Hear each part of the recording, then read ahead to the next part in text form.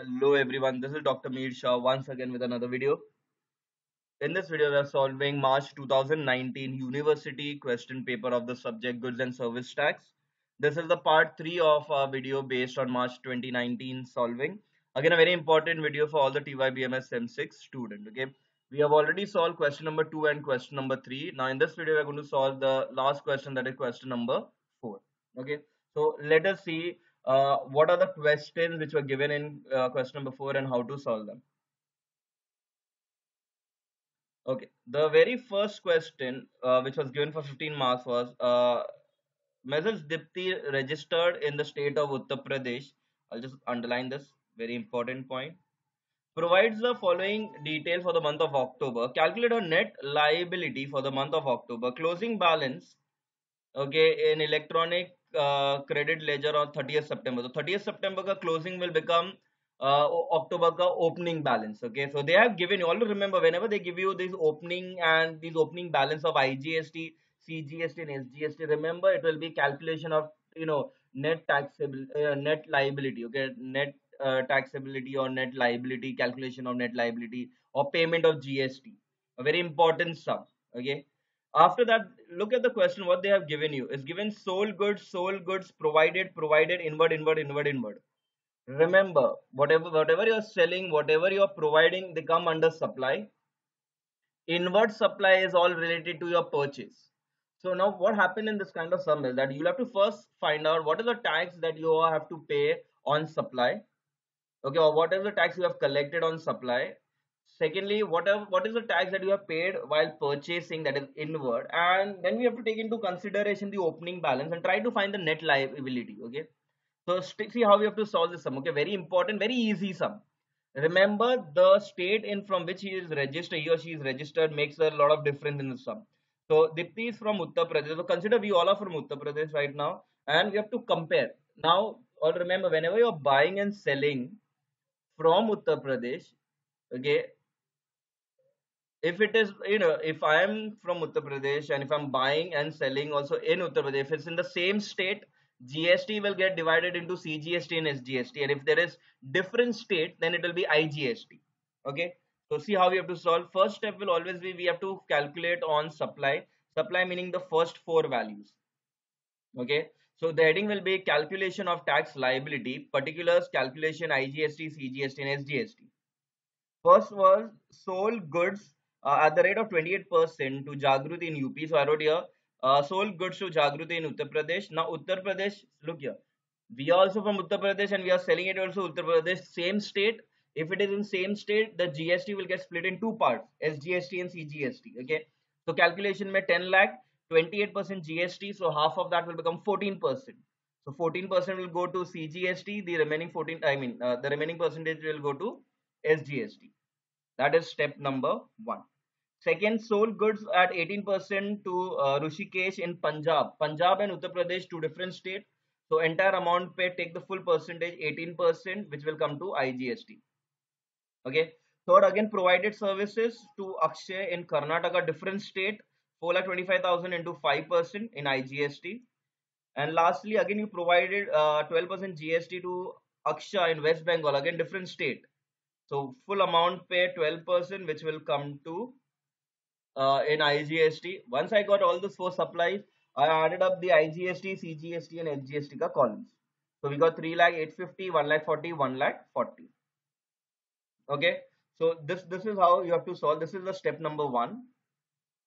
Now, first, uh, once you are done with the you know tax on supply, now we need to find tax on purchases.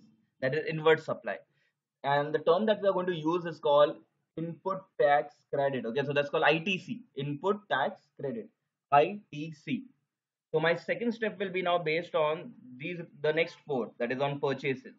Again same format calculation of itc particulars calculation igst cgst sgst same state the tax will get divided in two parts if a different state igst first is 5% from uh, uttar pradesh. So uttar pradesh is same in the same state so it will get divided in two parts.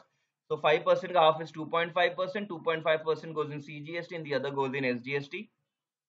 Next one was inward from Telangana, different state, full percentage will go to IGST. Next is Karnataka 12% again full IGST. Last 6 lakh 70,000 uh, from Uttar Pradesh, same state. The 28% get divided in two parts. 14% will go in uh, CGST and the remaining goes in SGST. Total it up and we'll get the total values. So first step was very simple. Get on all supply. Second, find tax on all purchases. Third, now here we are going to try to find out the setup, the net liability. Okay. So your third step. So remember these answers. Okay. The first answer was 3 lakh 850 140 140. Second one was 19 200 95 750 95 750. Now see how you solve the last part of the sum. Calculation of net tax liability. First will be tax payable, that is the part A on supply whatever you had collected. So 3 lakh 850, 1 lakh 40, 1 lakh 40, step number one.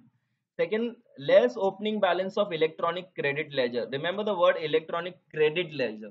If they give you cash ledger, you cannot subtract it. That remains as it is only. If it is credit ledger, because in the question is given credit ledger, we'll have to subtract those opening balance and less ITC that we had got in the previous uh, slide, whether 19 200, 95 750, 95 750. Okay, subtract it and you will, if all the answers are positive, it is net tax liability. If it is negative, it means it is excess. You are paid excess tax.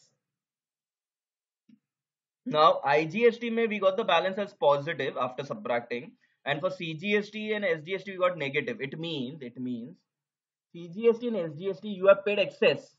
Whatever was required much more than the tax is paid already. IGST is positive, it means this much amount is still pending, okay, it's still a liability. So the rule is now, if there is excess in CGST and SGST, you can use it to set off IGST, and if there is excess in IGST, you can use it to set off the other two. So in this case, what we'll do, we'll write less excess in CGST and SGST adjusted in IGST. So both these amounts got adjusted here, okay, and we subtracted and we got the final net liability where IGST is 30,150, CGST is nil and SGST is nil. Again, a very important sum, simple, important, 15 marks. Okay, you calculate supply or uh, tax on supply, then you calculate tax on purchase, subtract them with the opening balance. Anything which is, if the answers are all positive, sum gets over there. If anything is negative, try to set it off okay the excess try to set it off somewhere else okay if cgst sgst means extra set it off in igst and vice versa and you will get your net liability or net taxable liability. So this was the first question in your question number four under the paper which was about 15 marks. Okay i hope everyone have understood that. Now with this option you had the next question uh 4a calculate that also 8 mark. Calculate aggregate turnover of Sneha based on the following information.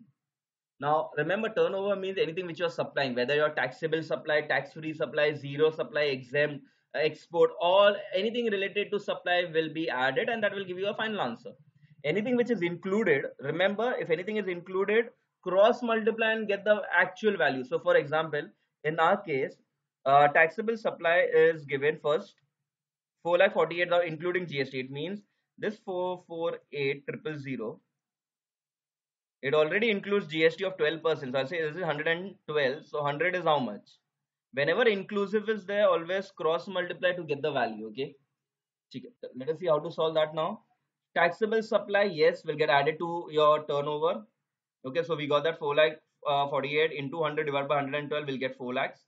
Exempt supply, any kind of supply, yes, we'll have to take it uh, export supply, export is again a supply. Yes, we will consider it. Inward per supply, inward is purchase, cannot consider it. Interstate supply, yes. Intrastate supply, yes. All the supplies will get added up and that will be your final answer. That is total aggregate turnover. So 4 lakh plus 85,000 plus 2 lakh 30,000 plus 5 lakh 90,000 plus 8 lakh 50,000 comes to 21 lakh 55,000. That's your uh, Mrs. Sneha's uh, total aggregate turnover. 8 mark the one of the most easiest sum. Okay, so this was question number 4a, very simple. Now, along with that, last sum of the paper, question number 4b. Uh, Kunal, who is a manufacturer uh, in Thane, provides the following. Uh, explain whether Kunal is eligible to opt for composition scheme in the financial year. Again, now rule if you're a manufacturer the composition tax which is uh, comes to you uh, comes to your mind is one percent that is half percent cgst half percent sgst number one Secondly, check from where he is. If he is from special category state, 75 lakh is the threshold limit.